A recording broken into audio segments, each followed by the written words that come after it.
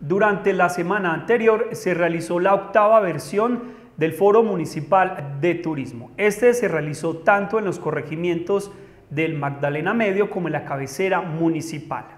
El foro de este año estuvo bajo la premisa de retos y oportunidades del sector turístico, donde se mostraron las ventajas que tiene el municipio para el sector en sus diferentes regiones. Digamos que tenemos varios retos, entre ellos eh, el fortalecimiento, digamos, de, los emprendimientos locales, pero también la unión entre ellos, ¿cierto? Digamos que como instituciones eh, tratamos, digamos, también de apoyarlos, pero necesitamos más unión y también apoyo por parte de cada uno de los emprendimientos locales y empresarios para que Sonsón sea más reconocido como un destino turístico de cultura y de naturaleza. Dentro de los ponentes que hicieron parte del foro estuvo Sonia Betancourt, quien expuso su empresa de turismo en el Quindío, sus éxitos y desaciertos para que en Sonsón fueran tomados como precedentes. Eh, la empresa mía lleva más de 25 años, eh, hay que aprender con la filosofía del aprender haciendo. Eh, no cometer de pronto los errores que nosotros pudimos haber cometido en el crecimiento del turismo, unas cosas funcionan, otras no, y lo importante es la alianza, la asociatividad.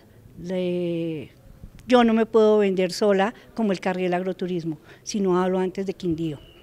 El Quindío es un destino, como lo es Colombia.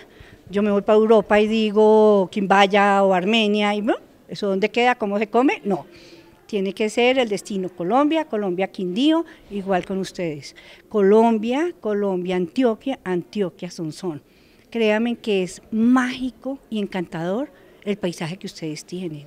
Los productos, llevo dos días acá, eh, la entrada acá, el conductor que me trajo espectacular, aquí empieza Sonsón, vea estas montañas, vea este cultivo de aguacate, vea este cultivo de fresa, vea esta casa eh, tienen un buen inventario de alojamientos, tienen una arquitectura, que pues, mucha tela para cortar hacer eso, y lo importante es agremiarse, asociarse, buscar apoyos gubernamentales.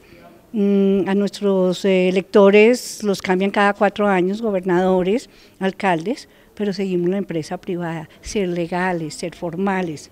No es caro, no es costoso, pero se puede hacer.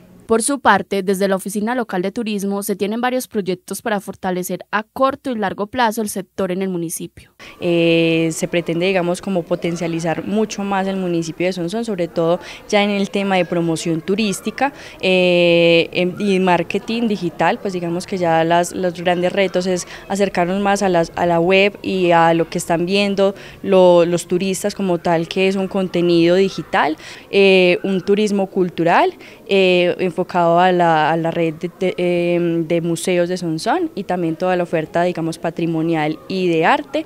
Y ya en la zona del Magdalena Medio enfocado al turismo de naturaleza. Entonces es como llegar a esos diferentes eh, públicos eh, especializados también. Además, desde la provincia de La Paz se hace el llamado a la asociatividad de los municipios de la zona Páramo e impulsar el turismo regional. Hoy podemos decir que desde el diagnóstico del momento actual para el 2022, toda la zona de la provincia de La Paz tiene un gran motivacional para el turista que es sus recursos naturales y culturales, el valor social que le damos al paisaje. Esa es la razón que tienen los turistas para visitar nuestra zona. Es un gran reto hoy para nuestras comunidades que se apropien, que reconozcan estas potencialidades naturales y culturales, que reconozcan el valor del turismo y todo lo que puede ser este turismo como un dinamizador de la economía para nuestras zonas.